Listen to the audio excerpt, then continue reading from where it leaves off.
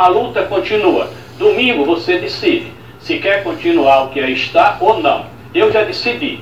Domingo eu vou votar para derrotar o PT. E eu estou vendo nas ruas do Brasil um desejo de mudança. E esse desejo de mudança está, é, o povo está na, pela Bahia toda e pelo Brasil todo dizendo que o desejo de mudança é Bolsonaro. Portanto, o voto domingo é o voto útil para a gente derrotar o PT domingo em Brasília e na Bahia. Vamos colocar o PT para fora.